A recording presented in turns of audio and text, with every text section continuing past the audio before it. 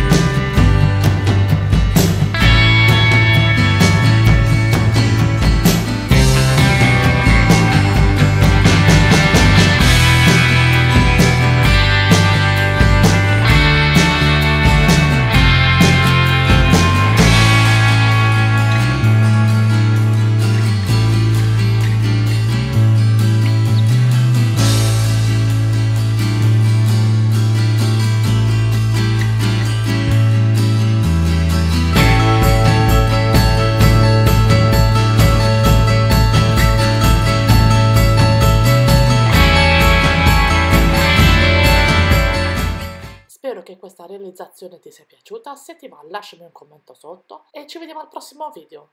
Ciao!